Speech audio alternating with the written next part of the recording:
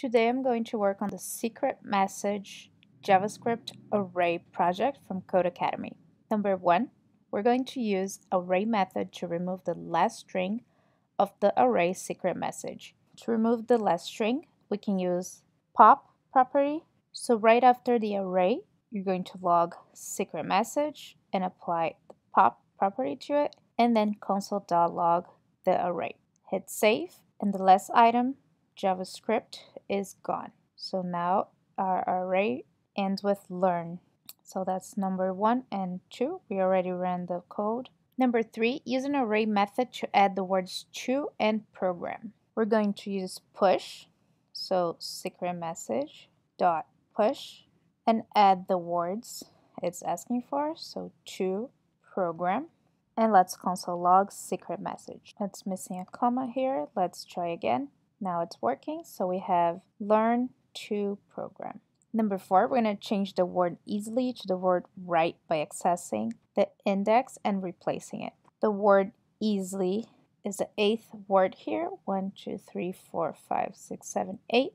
But because we start counting from zero, it's actually going to be the seventh. So zero, one, two, three, four, five, six, seven.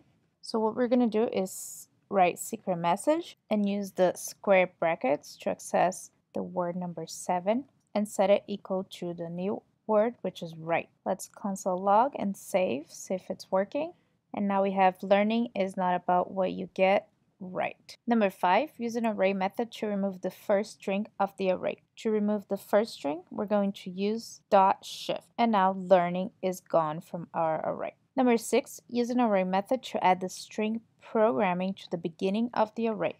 To do that, we're going to use unshift and add programming. Let's save, and now we have programming in the beginning of the array. Number seven, we're going to use an array method to remove the strings get, right the first time, and replace them with a single string no. So we're going to find get, right the first time. Here says easily, but we change it to right. So we need to count their position 0, 1, 2, 3, 4, 5, 6.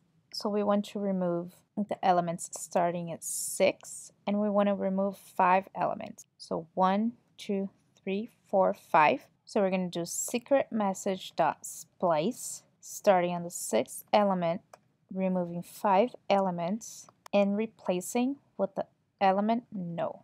Let's save and now you have the element no. And last one, we're going to use console log and dot join to print the secret message console.log secret message dot join. Let's save and now we have the secret message. Programming is not about what you know, it is about what you can figure it out. And we're done with the secret message project.